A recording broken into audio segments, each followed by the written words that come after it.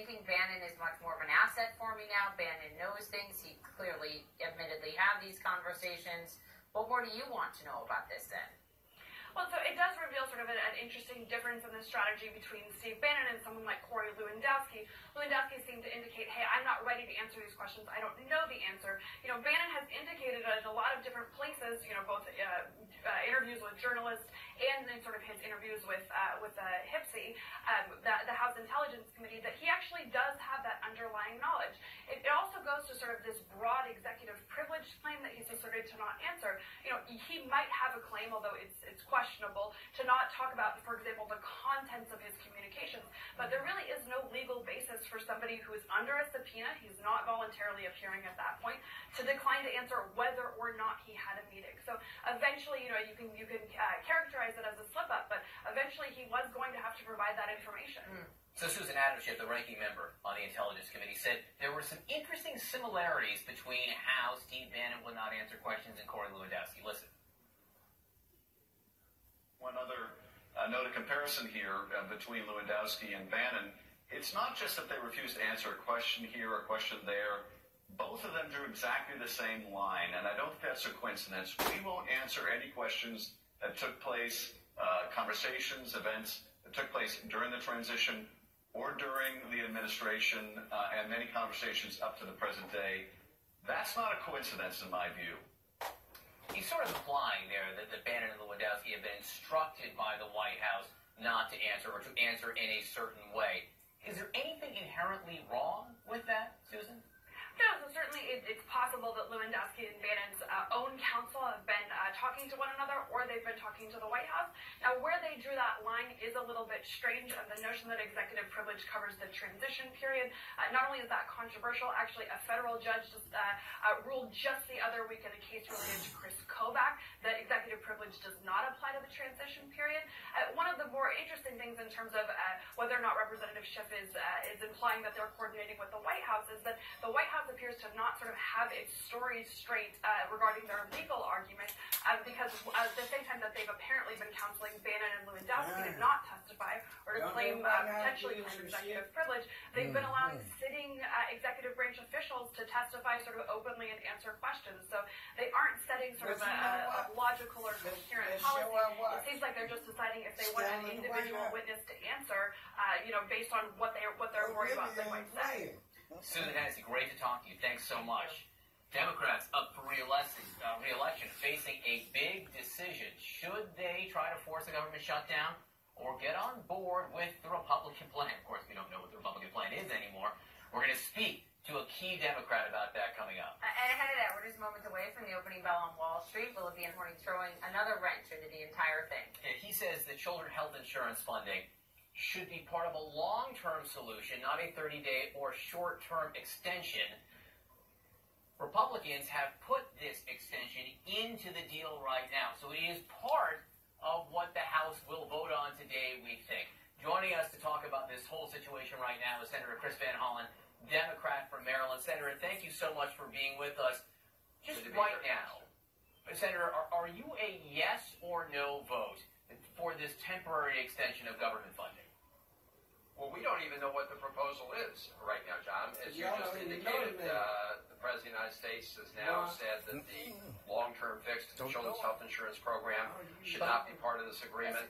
But uh, can I say, can I say if, it, if, it, if it was there, right? What we do know is that in this version, Dreamers, any protections for Dreamers is not part of the bill. So the question, I guess, the first question is, without protections for Dreamers, could you vote for an extension of government funding? I cannot support a bill, a continuing resolution that does not deal with funding for community health centers, that does not deal with the opioid crisis by providing real resources, that doesn't help our veterans, and that doesn't deal with the DACA issue.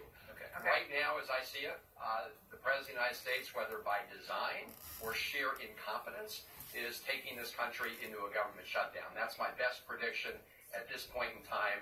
Uh, we saw what happened at the White House the other day. The president had invited people to come up with a bipartisan solution on DACA.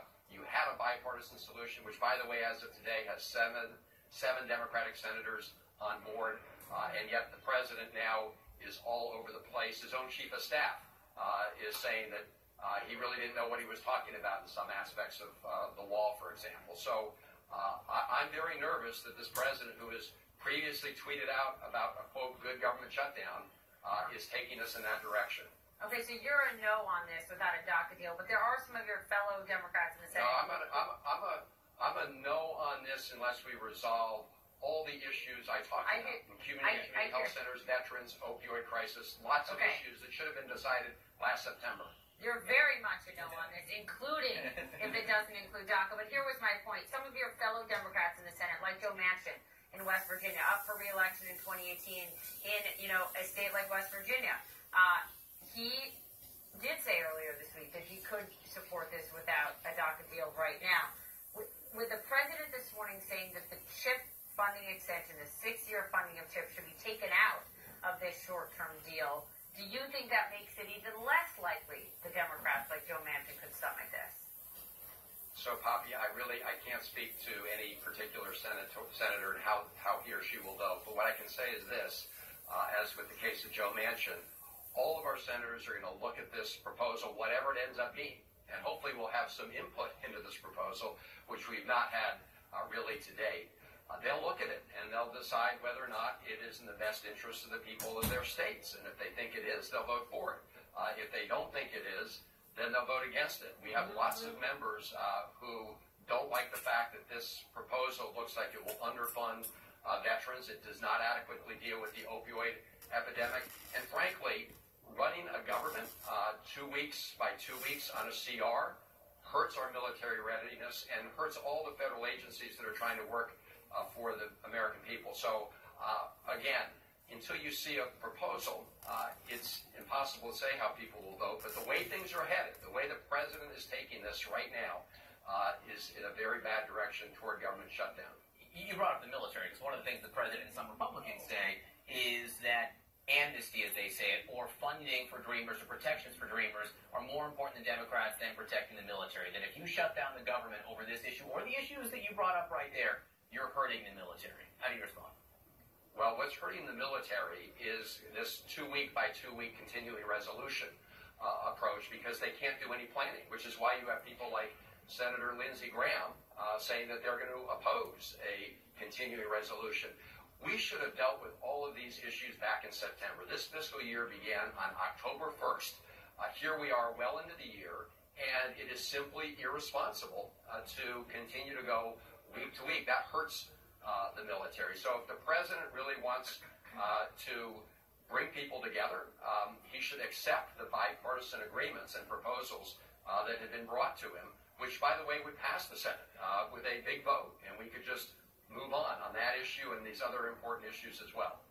Let's talk about legislation that you proposed, bipartisan legislation, a rarity uh, these days on Capitol Hill with Marco Rubio earlier this week. It's called the Deter Act, and it would slap really big uh, sanctions What that- on any that country, like. Russia, China, others, that interfered in the U.S. election process.